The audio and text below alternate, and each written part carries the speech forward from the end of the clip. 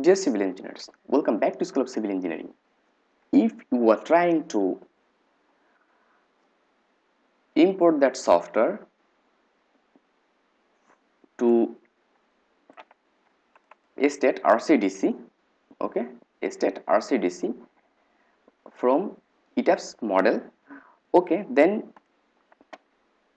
you're may facing a problem here because uh, we have to import that file to by coming here export so we have to export that file to etabs table to access. Etabs table to access. But what is the issue here? Sometimes we see this option is not available. Sometimes we see this option is not available because uh, we're seeing that uh, we are not accessible this that soft uh, i mean that, that option. Okay? So what is the problem here actually ETABS table to access uh, option is not available here. What is the problem of it? Because uh, they have a little problem uh, if I just show you. Just see uh, in my Microsoft Office package okay uh, first of all I thought that they have no requirement of if I click on new here the Microsoft Access database. So I, I was just thought that this, that file is not required that's why at the time of installing I have just installed Word PowerPoint and Excel.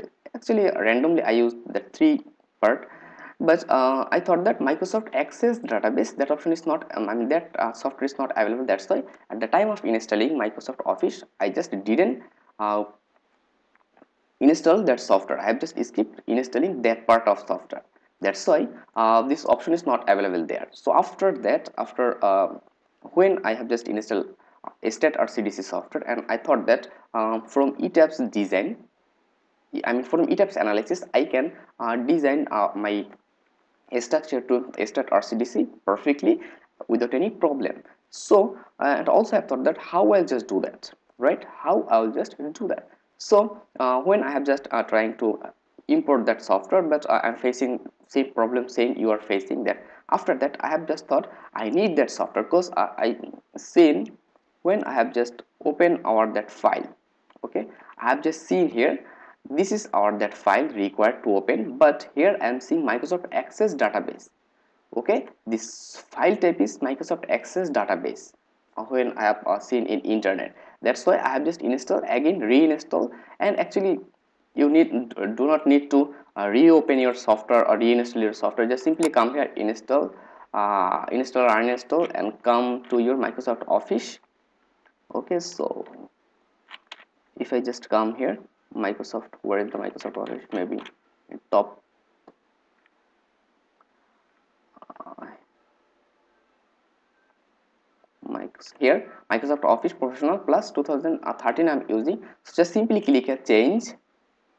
Okay after clicking change it will take some time. So just you have to use that option add or remove features. So next continue and from here I have just uh, that was like that not available. So I have just what I have done run from my computer. I have just uh, used that option and I have just click continue and it's it's automatically after sometimes I mean it takes sometimes and after complete after uh, sometimes it's a completed that problem. So actually uh, that was the issue right? So I hope you will be uh, able to do that okay uh, and I'm just clicking back because I'll do not do again that.